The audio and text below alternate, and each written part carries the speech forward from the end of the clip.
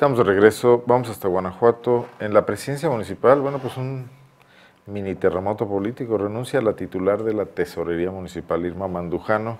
Esto pues ya en la recta final de la administración del alcalde prista Edgar Castro Cerrillo. No se va sola, otros tres funcionarios también presentan renuncia al cargo. No se sabe, se adujeron motivos personales. Eh, voy a hablar con Tere Segura para ver si ya tiene más información. Es cese, es renuncia. Tere, ¿cómo estás? Buenas tardes. Hola Armando, buenas tardes.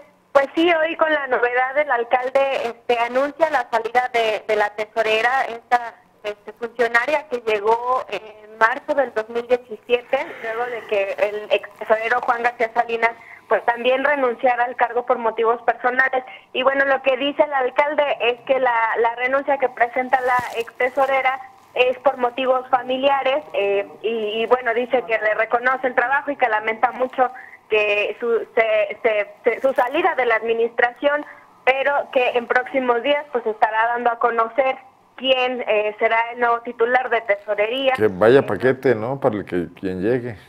Sí, claro. Eh, bueno, aunque comentaron que fue por motivos personales, pues se presume que ha sido pues tras una serie de, de desorden administrativo en el área de tesorería que se vienen arrastrando desde que desde que inició la administración y que al parecer pues no han podido poner ahí orden a muchos temas este ahí está el famoso asunto del adeudo de las cableras por ejemplo.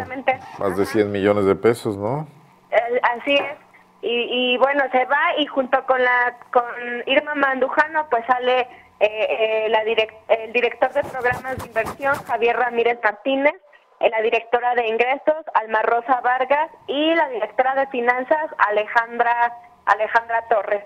Eh, son eh, cuatro los que salen de la tesorería municipal. Eh, comenta el alcalde que fue ayer en una reunión de trabajo que sostuvo con, con, directivos cuando la tesorera le informa pues su decisión de, de, su salida de la administración y posteriormente pues vienen las renuncias de los otros tres A ver, Tere, eso o es una limpia que Edgar Castro no esté contento con lo que esté pasando y entra a fondo ahí, o es una desbandada de funcionarios que se van todos por alguna situación.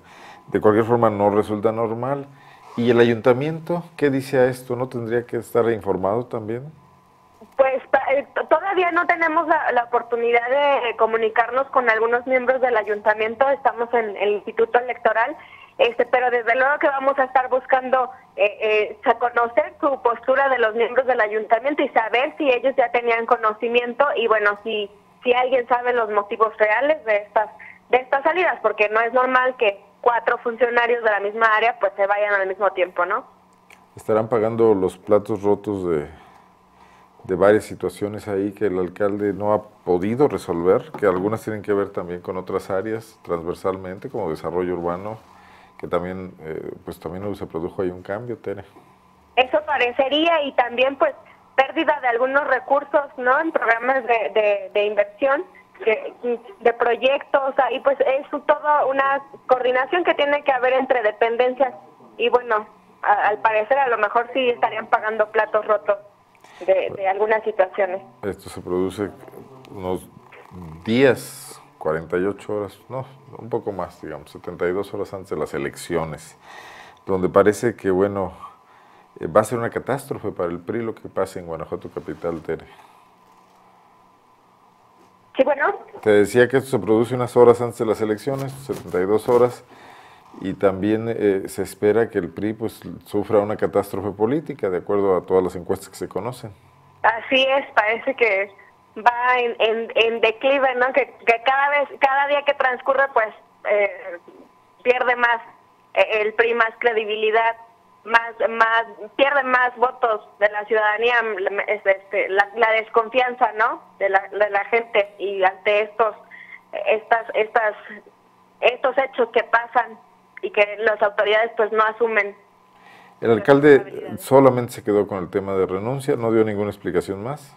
No, no, no, él dijo que eran asuntos familiares de la tesorera, que él lamentaba, que le reconoce el trabajo que, que hizo, siempre responsable y respetuoso, pero este que eh, fue todo lo que lo que el alcalde comentó al respecto.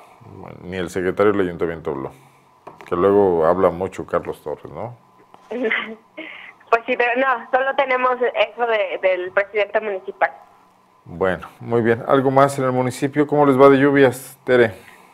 Pues eh, todos los días hemos estado registrando lluvias eh, eh, bastante intensas. Ah, es un poco medio loco el clima. En las mañanas amanece un poco nublado con una lluvia este, ligera, pero ya por la tarde se presentan lluvias intensas, fuertes y, y que duran mucho tiempo, ¿no? Y pues bueno, como ya manejamos la nota en zona franca, ha provocado pues varios varios derrumbes, eslaves, este, desplomes de árboles y eh, recientemente pues los tres socavones que surgieron en este camino histórico antiguo a Marfil. Que, ¿Qué, eh, es por efecto del río o, cómo, por qué se mina la tierra así de esta forma? ¿Se hunde y ya?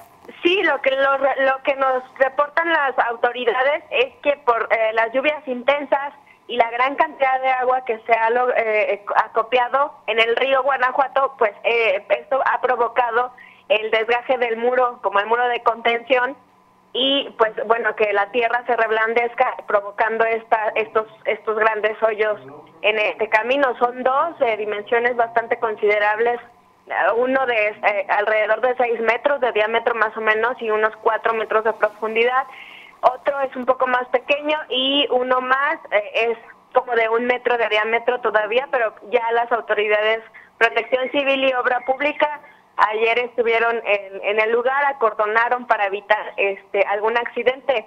Eh, se, se bloqueó el paso automovilístico y peatonal pues para evitar algún incidente lamentable. Ahora tienes que ir a dar toda la vuelta si quieres ir por, eh, por Barfil de un lado a otro. Así es. Por la parte superior.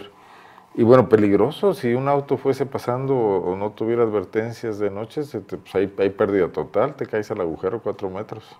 Sí, claro, hubiera sido algo lamentable. Eh, afortunadamente, pues no ocurrió un hecho de, esta naturaleza y fue reportado, y este, de hecho fue reportado por ciudadanos que estaban caminando eh, por el lugar, ¿no? Que es muy muy común que la gente vaya a hacer a caminar o a trotar en, en, ese, en ese lugar, en esa calle, en esa realidad. ¿Quién repara? ¿A quién le toca? ¿Al municipio, el Estado? Al municipio, es vía municipal.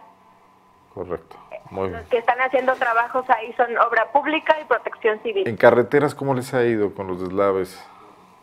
Eh, el más fuerte que se ha presentado fue el martes, si no mal recuerdo, en, las curvas peligrosas. Hubo un deslave fuerte que provocó una, una tráfico lento este, por más de casi dos horas. Pues, eh, se hablaba ahí de, se cayó una roca como de una tonelada más o menos, entonces tuvieron que, que llegar con maquinaria pesada. Ahí sí hubo el apoyo de las autoridades estatales para poder eh, liberar la vialidad y volver a, reanudar la circulación. Correcto. Otra otra vía que muy comúnmente sufre sufre deslaves es la carretera al cubilete, ¿no? A la luz. Ajá, pero este hasta el momento no se han presentado eh, como eh, situaciones graves en esa zona eh, se, ha, presentado más bien en, esta parte de, de, y de, viviendas que ayer eh, comentaba el director general de Seguridad Ciudadana que se están incrementando el número de viviendas que están en riesgo de colapso. Son fincas antiguas hechas de adobe, la mitad son 30, al principio de la, de la temporada iniciaron con 15 casas este, con riesgo inminente, catalogadas con riesgo, eh, hoy son 30 o, o más de 30 este, y la mitad de esas viviendas pues son eh, están deshabitadas, ¿no? Entonces el, riesgo es mayor porque pues no hay propietarios que puedan intervenir y bueno, en las que en las que están habitadas los propietarios a pesar de que se les ha tirado oficios para que atiendan las deficiencias, pues han comentado que no tienen el recurso para atenderlas. En lo que decía el director general es que en el Consejo Municipal de Protección Civil